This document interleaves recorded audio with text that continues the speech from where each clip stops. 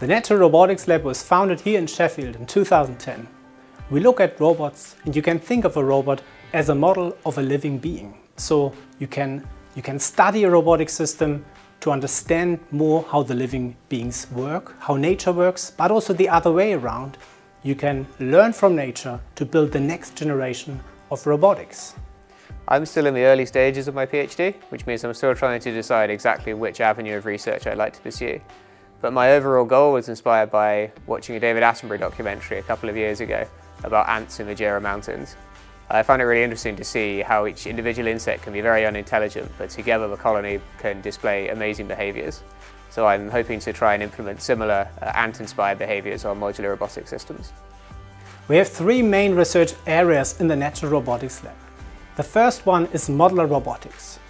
A modular robot has many building blocks that can be connected like Lego in many different ways. Some of our modular robots can even change their configuration just on their own. We developed a range of systems that operate in environments such as in the water, on the ground, or even in space-like environments.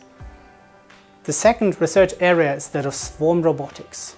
Here the idea is if you look at one individual, it actually processes very little information on its own but yet the swarm as a whole can solve very complex tasks.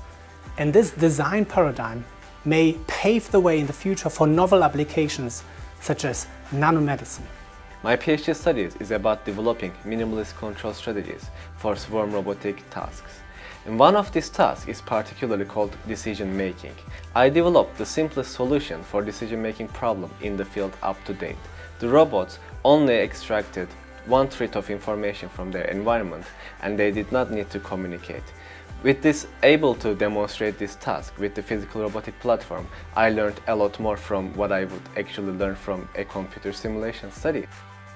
The third research area is that of machine learning. And here we are interested to learn the behavior of agents either through observing them or through interacting with them.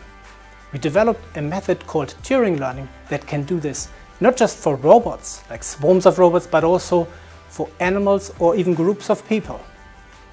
I did my PhD in Spain in localization and navigation in dynamic environments, both outdoors and indoors.